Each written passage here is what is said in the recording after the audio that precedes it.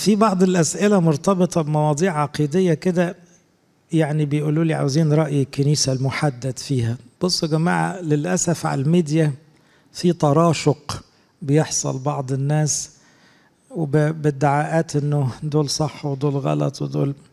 نقول لكم ببساطة كده عقيدة الكنيسة الأرثوذكسية في بعض النقاط اللي عليها يعني جدال شديد. أولا وراثة الخطية مثلا. إحنا ورثنا الخطية. أيوة ده تعليم الآباء. بمنظور إن إحنا امتداد لآدم. كنا في آدم كنا في صلب آدم. وده اللي بنعبر عنه في القداس خالفنا وصيتك. نسبنا المخالفة لينا كلنا. سقطنا. فإذا إحنا عندنا حاجة اسمها وراثة الخطية عشان كده بنتعمد وإحنا أطفال. ولو كنا مش مسؤولين عن الفعل نفسه لكن إحنا مسؤولين عن كل الخطايا اللي بنعملها كل يوم. فاحنا يعني ده ما يلغيش ده. وكمان زي ما ورثنا الخطية بدون ذنب منا إحنا مقدم لينا الفداء والخلاص. ورثناه مجانا بدون فضل منا. حد فينا دفع فلوس الصليب. طيب ماذا عن هل في عقوبة ولا نتيجة؟ في حوار فلسفي كده يقول لك ما فيش حاجة اسمها ربنا يعاقب. هي كلها نتائج. ده حوار فلسفي. العقيدة الأرثوذكسية الكنسية الخمس قرون الأولى اللي كل الكنائس الرسولية الجامعة مجمعة عليها طبعا من صفات الله العدل وأنه ديان وأنه يعاقب. وفي مئات الآيات اللي تؤكد كده ومئات المواقف اللي في الكتاب. طول عمرنا عارفين إن الطوفان عقاب للبشرية سدوم وعمورة تعاقبت بنار وكبريت حنانيا وسفيرة تعاقبوا فلما نلغي خالص فكرة العقوبة كأننا بنجمل صورة ربنا إحنا بنشوه صورة ربنا. ربنا لو ما كانش عادل وديان يبقى هنا بيحابي الشر يبقى ظالم يبقى ساكت على الغلط وسلبي. مين يقدر يحب إله سايب الشر دايما ينتصر بحكم بحجة إنه ما بيعاقبش؟ لا ما يبقاش إله صالح. لما تمجد صلاح الله لازم تمجد عدل الله ضمنيا هل الصليب كان عقاب ولا بس يعني اتحاد بالله؟ برضو الفكرة دي طبعا في عظات كتير أنا عاملها ردا على الكلام ده. الصليب له أوجه مختلفة للتعبير عنه. يعني الصليب في حاجة اسمها دفع الدين. إحنا مديونين كخطاة. ربنا يسوع جه دفع الدين. المسيح اتعاقب بدلنا. الموتة دي بتاعتنا إحنا. هو شال الموت عنا. ففي حاجة اسمها بدلنا عنا من أجلنا. بديلا عنا مات. وأظن الكلام ده مقبول عندكم. الكلام ده مرفوض من بعض الناس دلوقتي للأسف. كمان الصليب فيه مصالحة لأنه كان في خصومة بين السماء والأرض إحنا السبب فيها. عمل المصالحة لأنه إله وإنسان في شخص واحد. صالحنا بجسد بشريته صالحنا بدم صليبه. يبقى الصليب ما ينفعش تقول بس رجعنا السماء. أيوة رجعنا السماء إزاي؟ في كفارة في فدية في دفع دين في مصالحة. كل دي معاني جوه الصليب ما فيش ولا معنى يلغي التاني. فالبدلية العقابية بيسموها كده يعني حديثا هي مش كلمة أبائية. لكن دي دي مقبولة يعني الله مات بدلا عنا وحمل العقاب عنا. صح مقبولة المعنى ده مقبول. طيب معنى تاني عن سبب التجسد التأله. بصوا يا أحبائي التأله كلمة كنيستنا مش ميالة لاستخدامها لأنها ممكن تخلي الناس يعني تتلخبط شوية كأننا تسوينا بربنا. وإن كانت الكلمة في حد ذاتها مش مرفوضة في علم الآباء. لكن إحنا بنميل لاستخدام كلمات أقل خطورة في الفهم زي الاتحاد بالله زي التقديس بالله. ربنا بيقدسنا ربنا بيلزقنا فيه ربنا بيوحدنا بيه. زي التبني خلانا أولاده. لكن مش بنحب كلمة التأله بدليل إنها مش موجودة في الليتورجيات. صلواتنا في الأجبية والتسبحة والقداسات ما تلاحظوش إن الكلمة دي موجودة. لكن كلمة الاتحاد بالله موجودة كلمة التقديس موجودة كلمة إن إحنا أولاده كتيرة قوي. ما كل ده بيؤدي المعنى التأله اللي قصدوه الآباء. لكن معنى التأله المطلق طبعا ده غلط تماما. مطلق يعني نبقى زي ربنا حد فينا هيقدر يفكر كده؟ لا. دي دي كده فلسفة بزيادة. كون الروح القدس سكن فينا صرنا أولاد الله نورث السماء مع ربنا نتمجد معاه ده لا يعني إن إحنا بقينا أقنوم رابع.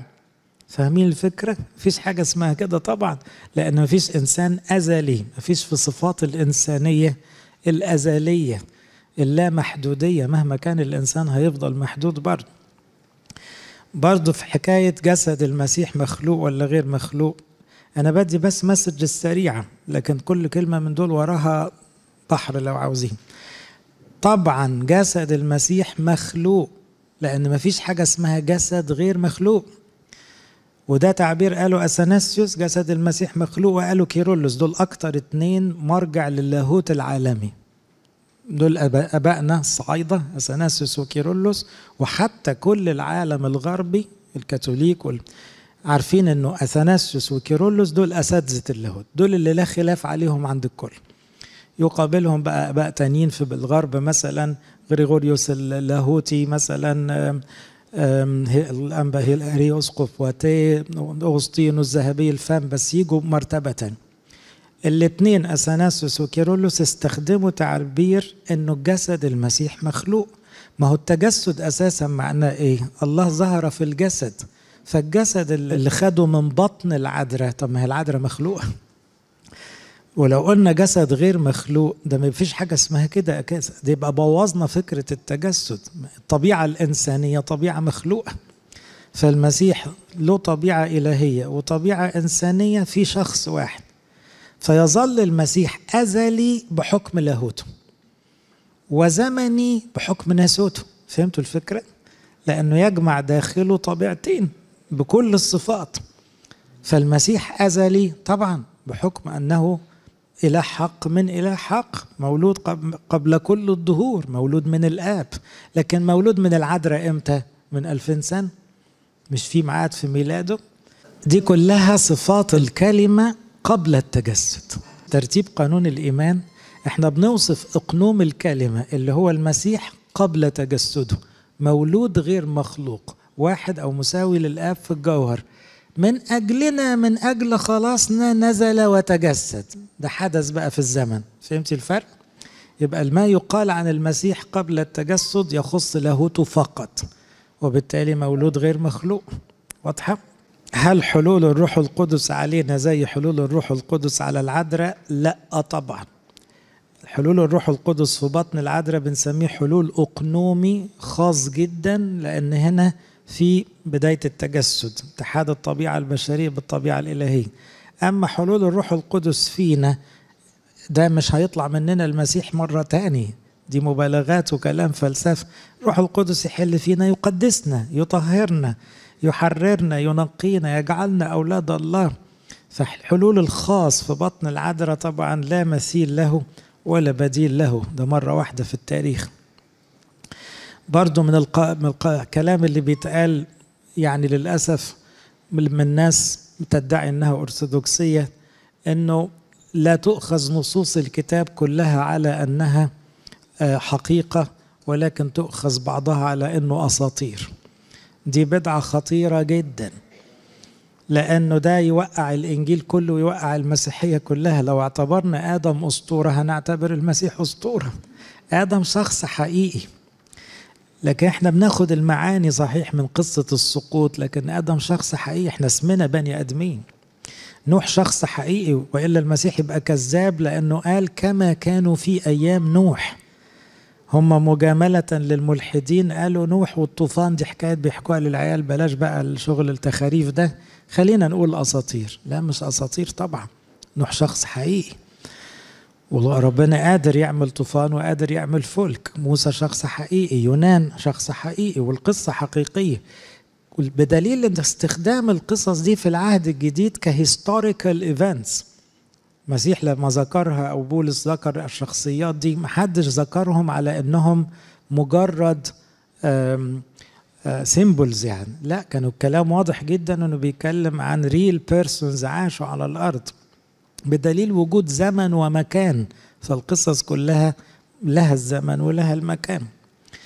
برضو من القضايا اللي ساعات بيتكلموا فيها دلوقتي هل جهنم فيها حاجة physical ولا هي مجازية؟ طبعا كل أباء الكنيسة قالوا في physical. يعني إيه؟ في. في عذاب طبعا في عذاب. والمسيح اللي استخدم كلمة عذاب أبدي.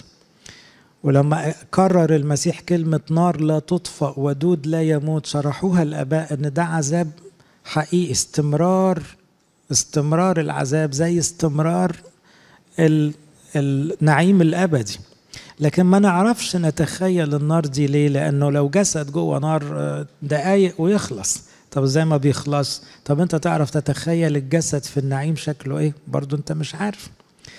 لكن محدش من الآباء أنكر وجود العذاب الحقيقي. لأن هم في بعض المبتدعين دلوقتي بينكروا يقول لك ده موضوع نفسي كفاية إن الناس تبقى محرومة من ربنا. كأنك بتقول للناس اغلطوا ده الموضوع طلع خفيف في الآخر.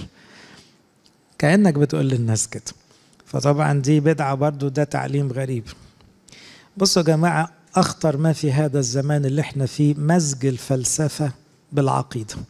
إن في واحد الكلام مش داخل دماغه قوي يبتدوا إيه يحط حاجة من عنده كده ويطبخ طبخة عشان الكلام يدخل دماغه أو دماغ ناس تاني حبيبي ده مش حقك. الحقيقة مسلمة من المسيح للكنيسة محدش يقدر يلعب فيها. عجبك مش عجبك ده موقفك أنت. لكن مش من حقك تلعب في الوديعة الوديعة دي مش بتاعتك. وبعدين لو تأنيت وقريت وفهمت هتلاقي كلام منطقي جدا ومقنع جدا.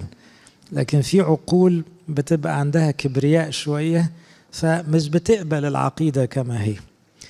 لكن العقيدة مستقرة وواضحة ومعلنة وعلى الأقل الخمس قرون الأولى المسيحية كانت بلا طوايف ولم تقبل أي بدعة. فطبعا إحنا عندنا مرجع دقيق قوي لكل الإيمانيات اللي إحنا ماسكين فيها